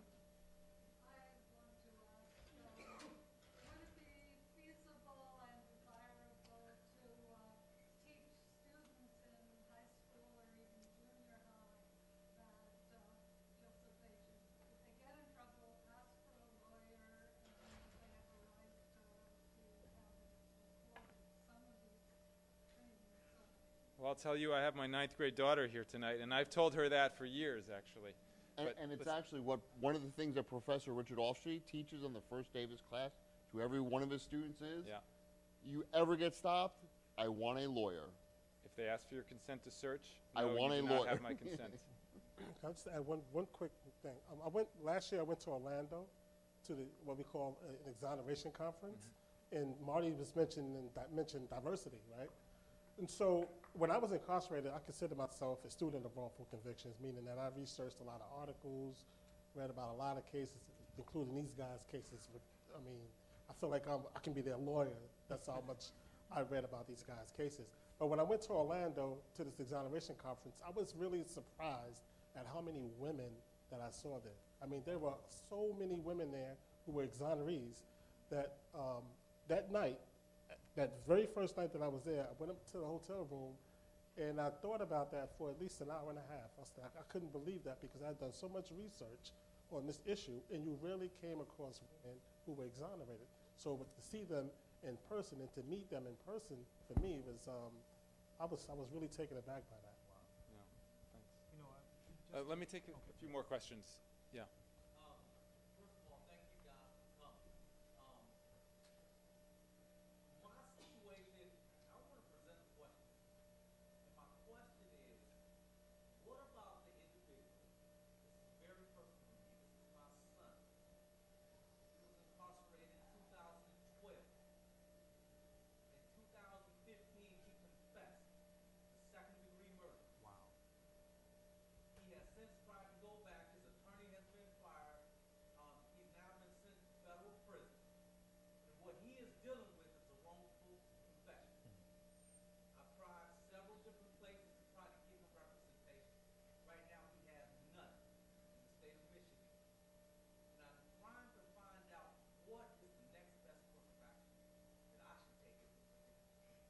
With, without answering the question just yet, I, I just want to get something clear. Are you saying that he was in prison languishing there? Awaiting And trial? then eventually said, you know what, I can't take it anymore, let me just confess? three other individuals. What they did is had them all locked up in 2012 Without being convicted? without being convicted. Okay.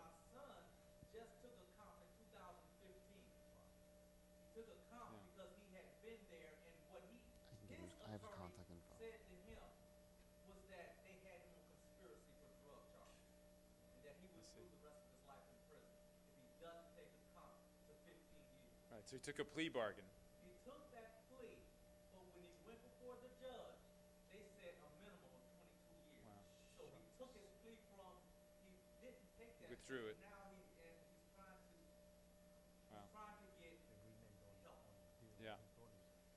Yeah, I mean, I think that's something, let's talk about that after the particulars and how we could possibly help, yeah. So, some other questions, yeah.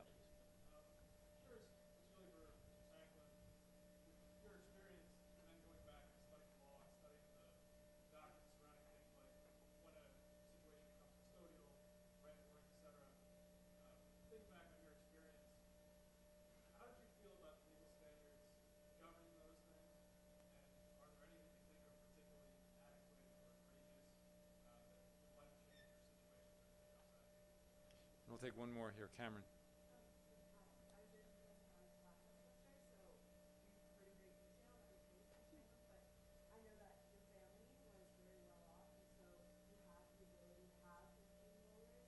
No, sorry, they, they were pro bono, all the Uh, lawyers. ju- just so you know, you're talking about the post-conviction lawyers. Okay, it started with a. I'll be very quick about this. The law firm of Miller, Cassidy, Larroca, and Lewin in 1994. Okay, 1994, 1995, when my state appellate lawyers couldn't work on the case because they'd expended almost a million dollars in pro bono hours. So it was Steve Braga, Barry Pollack, and Jennifer O'Connor were this small firm. That little group of three lawyers branched out over the years, and they all work pro bono. Okay, and it ended up becoming a huge amount, thousands of. I mean, if you think about the billable hours that really could be calculated, it's an atrocity that it took that many lawyers. My trial was I had one or two lawyers, okay, that we paid for, and he was a good lawyer, okay, and quite often, even great lawyers are up against the biggest law firm in each county which is the prosecutor's office. Defense lawyers don't have subpoena power. They can't get wiretaps. There's a lot of things they can't do that law enforcement can.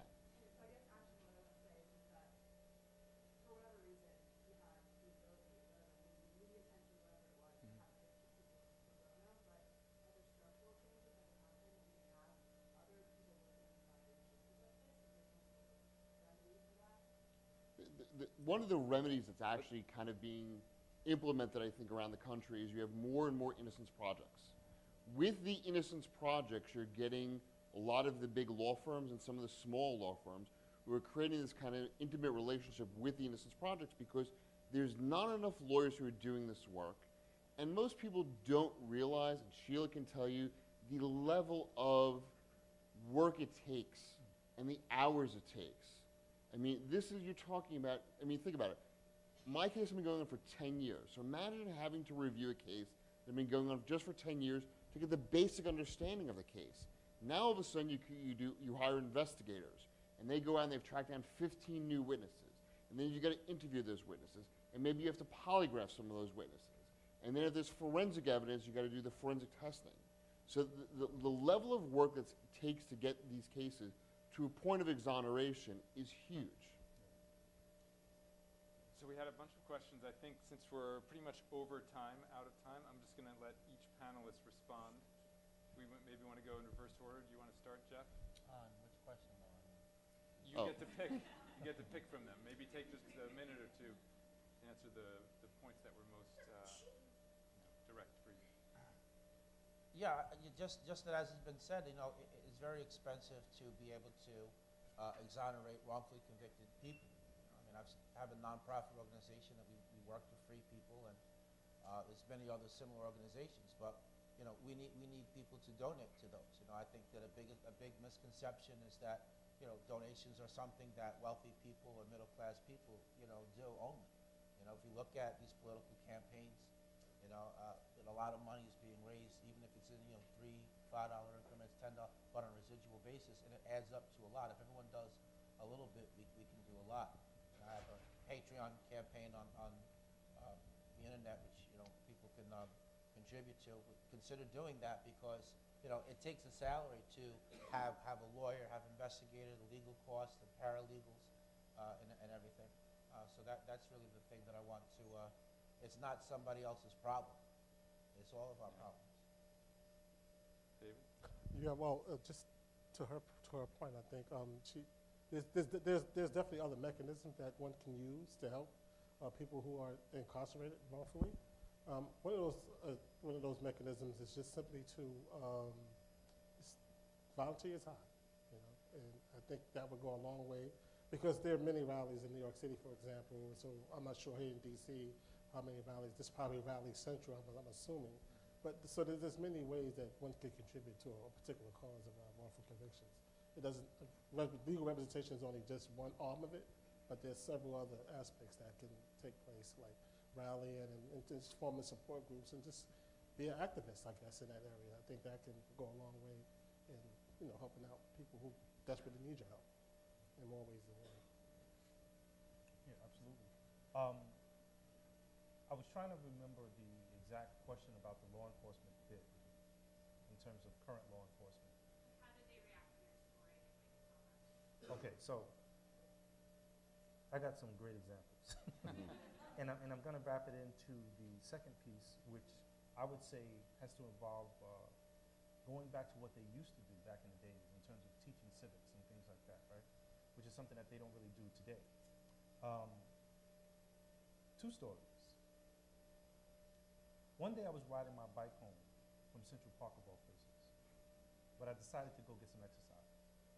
And as I'm riding my bike home, it's starting to get dark, and I got all the way back uptown to about 116th Street and Malcolm X Boulevard in Harlem. And I said, you know what, it's too dark. Let me ride my bike on the sidewalk, and, and that way I'll avoid getting hit by a car.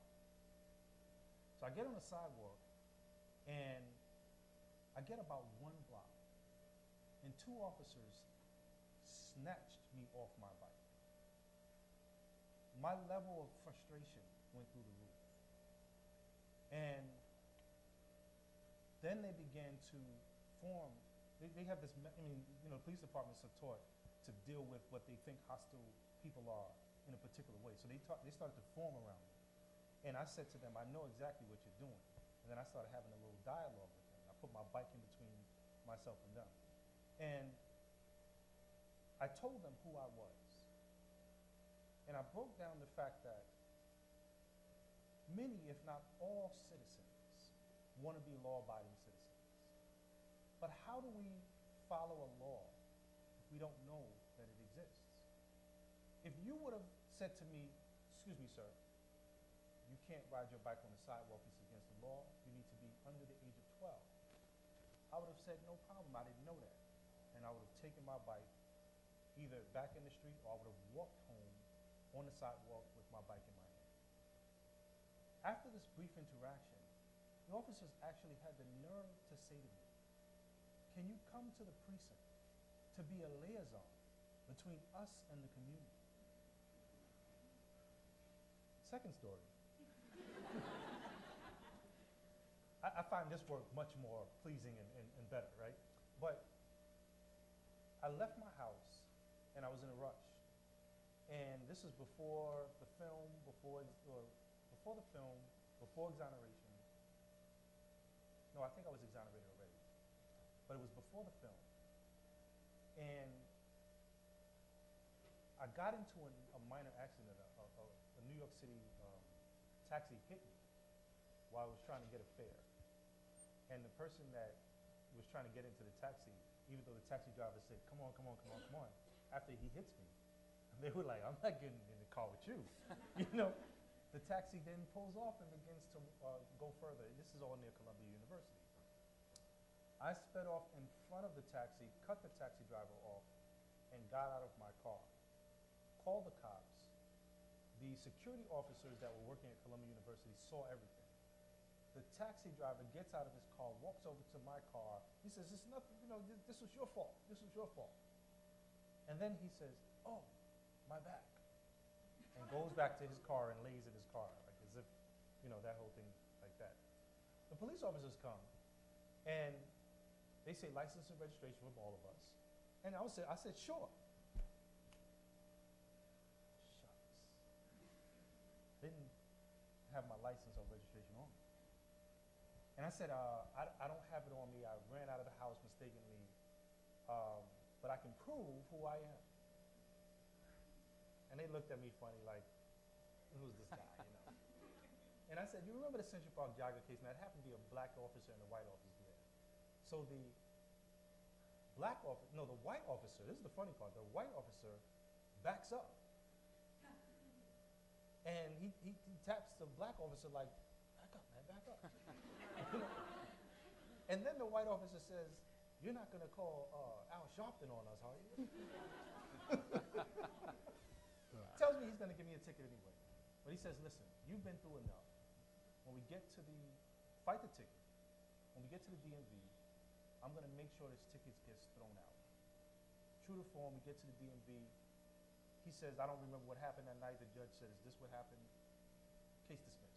Throws the ticket out. He leaves. We meet each other in the hallway. And I said, wow, that was the best officer experience that I've ever had in my life. You know?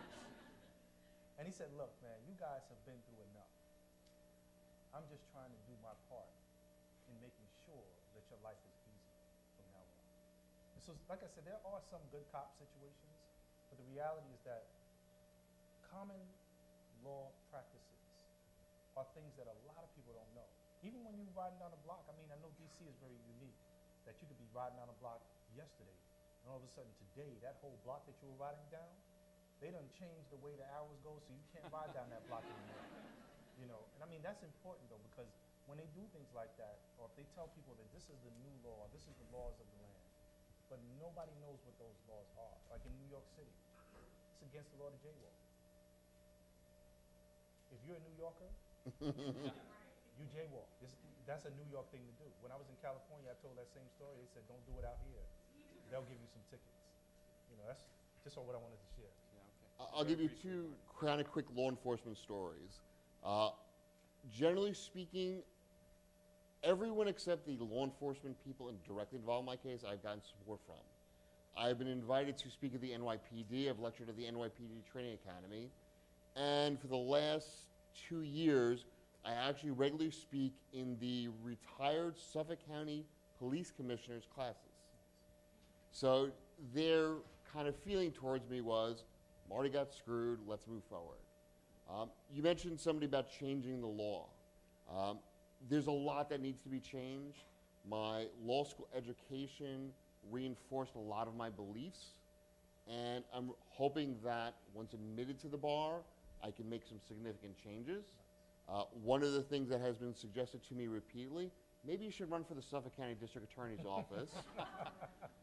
Uh, and if anybody Googles Tom Spota's name right now, it's probably the best time since he's subject to a federal investigation right now uh, because the, Suffolk, the former Suffolk County Police Chief He's on his way who's just pled guilty.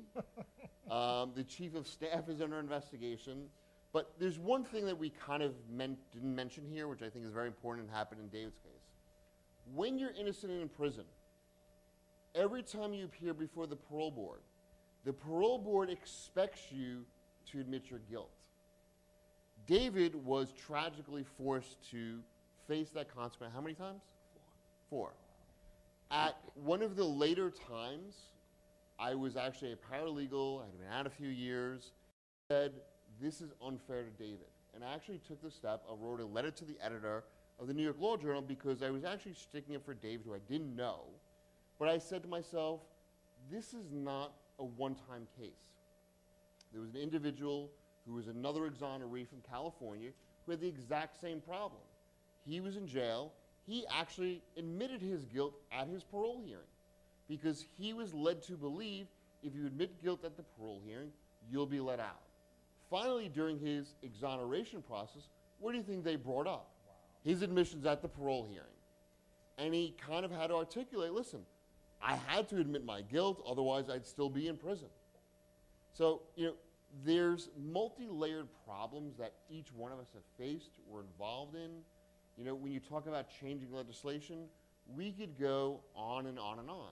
But the key thing is, and I mentioned this earlier, Yusef and I testified in 2008 about legislation that should have been in place that year.